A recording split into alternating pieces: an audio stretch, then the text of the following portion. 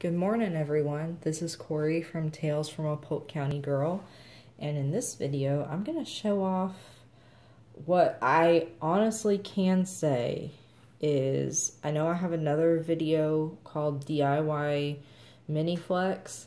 This one literally is DIY because it is made out of a placemat. I have a viewer on YouTube who in the comments has uh, she made a comment about how the ring mechanism on a standard Mead Flex binder, this, she doesn't like how it's D-rings, and they actually are. Move this. The rings aren't like completely round, and she doesn't like that it catches. I'm also assuming uh, this person is a she, and that's very wrong of me.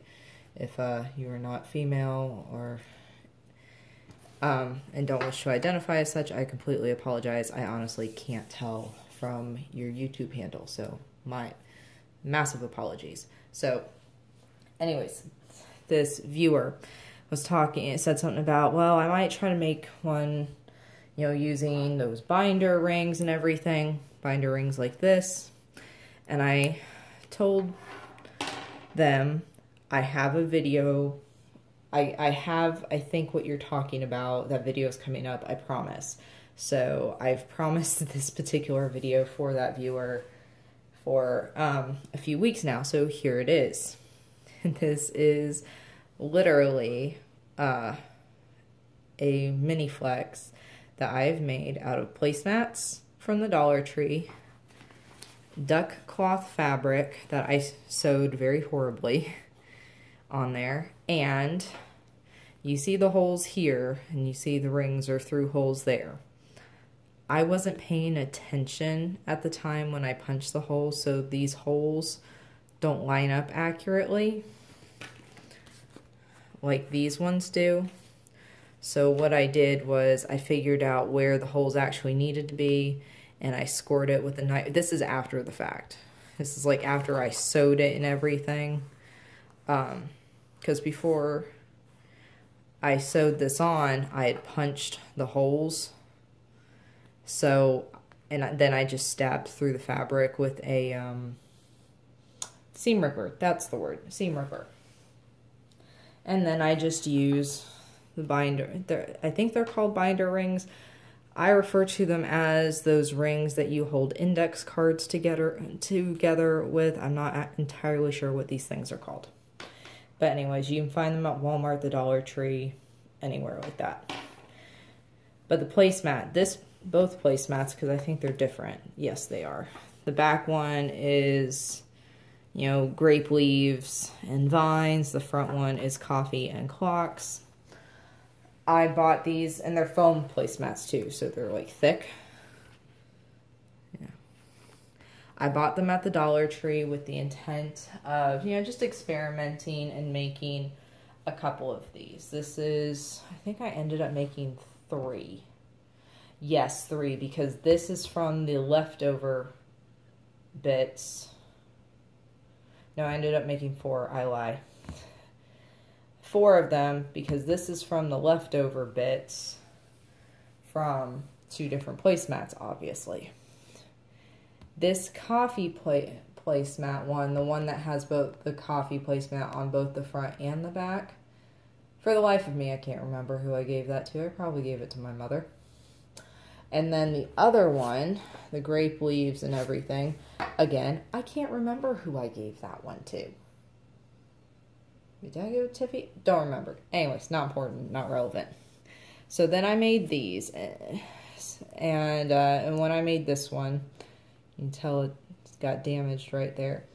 This was the worst one of them all in terms of sewing because, yeah, I just, I made the mistake of sewing from this angle and not, my cuts weren't straight and all that. It It's a prototype, essentially, and prototypes always look like crap. Um, so I kept this one for myself, and I actually had another one. I said I made four, and I've discussed three. Th or yeah, two of unknown giftage. I have no idea who I gave them to. This one. And then the fourth one, Yeah, I think I did give uh, one of the other ones to my mom because her dog got a hold of it and destroyed it. Yeah. So the fourth one, the one that was made actually from a very thick plastic vinyl placemat that um wasn't very pretty. It was just the placemat was cheap and I knew I could make something out of it, you know, as you do. So I gave that one to her recently. Um, the day we filmed the Monster Flex, Mom's Monster Flex video is when I gave her the other one. If the dog eats that one, I'm not making her another one because, yeah, I'm just not. So, all I did was I cut the placemats. Uh, I think I did eight and a half. Yeah, eight and a half. Or five and a half across, eight and a half down. Or it was six across, nine down. So it's roughly the same size as this thing. If not exactly the same size. I mean, it's a little taller and everything. Um, actually, yeah, so eight, six across, nine down. So the measurements I give you to make this, I used for this. All right, so I'm sorry about the confusion. And then I would hole punch my, if I may ever make one of these again, I'm going to line it up properly, make sure my holes are in the proper spot, spot and then I punch it with a three hole punch. I did that on the back as well. And as you can see, I did the wrong side. I had some fun. Yeah, this one really was the prototype because I borrowed a leather punch from someone to see if the three hole, if I needed to actually buy a leather punch or if a three hole punch would work. I have a heavy duty three hole punch and guess what? The three hole punch worked. So, then for the duck cloth. The duck cloth, as any good sewist will tell you, iron your fabric and measure it uh, before you cut it. That way you have straight lines or else you're going to end up like me. I didn't do that. I ended up cutting a strip. It was probably, I'm looking at how it, it was probably two and a half inches wide, maybe three inches wide. I ended up cutting a strip and the back is actually a lot neater than the front. If you look at my lines. And the way I held this on here, since, um, and we'll go through the contents of this in a minute. The way I held this on here actually wasn't straight pins. I actually used binder clips, you know, like the little alligator clips.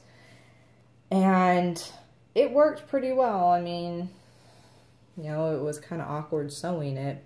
And yeah, I should have cut this straight and made this a straight line and it wouldn't look so bad, but what's done is done.